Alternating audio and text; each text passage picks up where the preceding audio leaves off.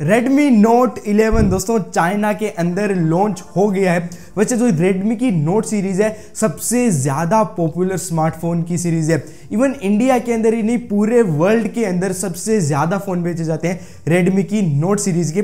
क्या क्या नया आया है इस ब्रांड न्यू नोट 11 सीरीज़ के अंदर? यही बताने वाला हूँ आज की इस वीडियो के अंदर, दोस्तों। लेकिन उसके पहले अगर आपने अभी तक अपने चैनल को सब्सक्राइब नहीं किया है, कर लीजिए अभी के अभी साथ में बेल नोटिफिकेशन को ऑल पर कर दीजिए फ्यूचर के अपडेट्स के लिए। स्टार्ट करते दोस्तों, सबसे पहले डिज़ाइन से और डिज़ाइन में आजकल सभी आईफोन की कॉपी कर रहे हैं। फ्लैट डिज़ाइन, पीछे बैक भी फ्लैट साइड की जो एजेस है, वो भी एकदम फ्लैट, और ये लोगों को काफ़ी पसंद भी आ रहा है। और ओवरऑल डिज़ाइन जो मोबाइल का है, वो भी एकदम क्लासी सा सेटल डिज़ाइन आप इसे कह सकते हैं। ज़्यादा वाइब्रेंट फंकी लुक रेडमी ने इस बार चूज़ नहीं किया है। पीछे मैट फिनिश मिलती है आपको, और जो प्रो और प्रो प्लस है, उनमें आपको पीछे ग्लास बैग मिलता है, और नॉर्मल नोट इलेवन के अंदर आपको नॉर्मल प्लास्टिक या फिर ग्लास्टिक बैग मिलता है। डिस्प्ले की बात करें तो दोस्तों रेडमी नोट इलेवन के अंदर आपको 6.6 इंचेस का डिस्प्ले मिलता है। वहीं पर Redmi Note 11 Pro और Pro Plus के अंदर आपको 6.67 इंचेस का डिस्प्ले मिलता है। 0.7 इंचेस का डिफरेंस है दोनों के अंदर। बाद में अमोल्ड की बात करें तो प्रो और pro plus of course AMOLED display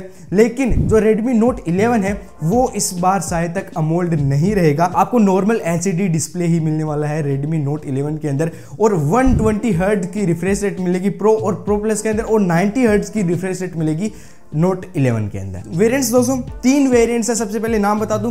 Redmi Note 11, Redmi Note 11 Pro and Redmi Note 11 Pro Plus इस बार Pro Max को हटा दिया गया है। ओल्ड फ़ैशन हो गई है। नई फ़ैशन है प्रो प्लस वहीं पर अब वेरिएंट्स की बात करें बेस वेरिएंट की तो जो नोट 11 का बेस वेरिएंट है, वो स्टार्ट होता है फोर वन जीबी से, यानी सिक्सटी फोर जीबी वाला वेरिएंट अब हटा दिया गया है। वहीं पर प्रो और प्रो प्लस के अंदर आपको minimum six one twenty eight GB वाला बेस वेरिएंट मिलेगा। प्राइसिंग दोस्तों इंडिया के अंदर कितनी होने वाली है, इसका फिक्स पता नहीं है फ़िलहाल, लेकिन चाइना की प्राइस के अकॉर्डिंग शायद जो बेस वेरिएंट होगा नोट 11 का, उसकी प्राइस होगी fourteen to fifteen thousand rupees जो प्रो वेरिएंट होगा, उसकी प्राइस होगी seventeen to eighteen nineteen thousand और जो प्रो प्लस होगा, उसकी प्राइस होने वाली है twenty to twenty one thousand base variant की। कैमरा में दोस्तों थोड़ी अच्छी इंप्रूवमेंट्स है।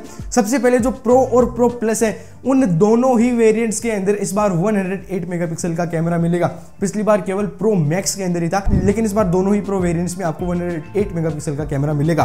वहीं पर नोट 11 के अंदर आपको 50 मेगापिक्सल का लेटेस्ट सेंसर मिलने वाला है। बाकी के दो कैमराज तीनों ही मोबाइल्स के अंदर सेम है। 8 मेगापिक्सल का अल्ट्रा वाइड कैमरा और 2 मेगापिक्सल का मैक्रो कैमरा सेल्फी कैमरा की बात करें तो जो नोट 11 ओनली है, उसके अंदर आपको 16 मेगापिक्सल का सेल्फी कैमरा मिलेगा। बाकी के दो वेरियंट्स का फिक्स नहीं है, लेकिन मेरे हिसाब से 20 या फिर 32 मेगापिक्सल इन दोनों कैमरा में से ही एक होने वाला है। परफॉर्मेंस में दोस्तों, तीनों ही मोबाइल्स डायमेंसिटी के प्रोसेसर पर आते हैं। और जैसा कि रूमर्स थे कि रेडमी नोट 11 प्रो प्लस इस बार डायमेंसिटी 1200 पर होने वाला है। तो ऐसा नहीं है। दोनों ही मोबाइल प्रो और प्रो प्लस दोनों ही डायमेंसिटी 920 पर आते हैं। और केवल नोट 11 पे आने वाला है डायमेंसिटी 810 प्रोसेसर 5G प्रोसेसर है, जिस प्राइस रेंज के अंदर ये इंडिया में आने वाला है बिलो फिफ्टीन थाउज़ेंड रुपीज़ एक 5G processor very nice deal और दूसरा जो डायमेंसिटी 920 है वो स्नैपड्रैगन 778G से कंपीट करता है।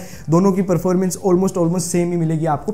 सो so, या yeah, नया प्रोसेसर है। और दोस्तों एक बहुत इंपॉर्टेंट चीज़ तीनों ही मोबाइल्स 6 एन की फैब्रिकेशन पर बेस्ड है। यानी कि तीनों ही मोबाइल्स काफ़ी ज़्यादा पावर एफिशिएंट होने वाले हैं। पावर के नाम पर दोस्तों बात करते हैं बैटरी की। तो जो सबसे बड़ा वेरियंट है सबसे टॉप वेरियंट है उसमें सबसे छोटी बैटरी है। Redmi Note 11 Pro Plus में आपको मिलती है 4500 mAh की बैटरी। Redmi Note 11 Pro के अंदर आपको मिलती है 5160 mAh की बैटरी और Redmi Note 11 के अंदर आपको मिलती है 5000 mAh की बैटरी।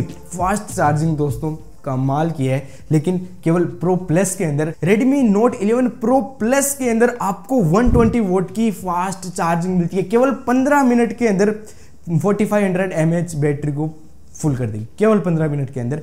बाकी के दो वेरियंट्स में अलग अलग फास्ट चार्जिंग है।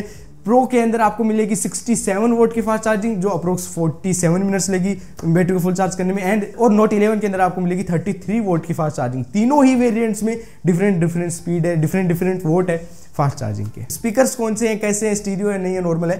तीनों ही मोबाइल्स के अंदर, तीनों ही वेरिएंट्स के अंदर आपको स्टीरियो स्पीकर्स मिलते हैं। लेकिन जो प्रो और प्रो प्लस है, उनके अंदर आपको JBL ट्यून्ड स्टीरियो स्पीकर्स मिलते हैं। तो उनकी ऑडियो क्वालिटी थोड़ी ज़्यादा बैलेंस्ड थोड़ी ज़्यादा अच्छी होने वाली है। ये थे दोस्तों कुछ major features of Redmi Note 11 जो कि चाइना के अंदर लॉन्च हो चुका है। वैसे ये जितने भी फीचर्स हैं इंडिया में आते आते इनमें से कुछ फीचर्स कम हो जाएँगे, गायब हो जाएँगे। जैसे कि N F C N F C वहाँ पर चाइना वाले रेडमी नोट 11 के अंदर है। लेकिन शायद तक इंडिया के अंदर आते आते सी गायब हो जाएगा। सो so, जितना भी आएगा जैसा भी आएगा देखते हैं आने वाले टाइम में। वैसे आपको कैसा लगा Redmi Note 11 अभी के अभी कमेंट करके ज़रूर देगा और साथ में अगर वीडियो अपना अच्छा लगा है तो लाइक कर देना। अपने चैनल को सब्सक्राइब ज़रूर कर देना। मिलते हैं इसी एक और नए वीडियो के साथ। तब तक लीजिए हिंद जय भारत।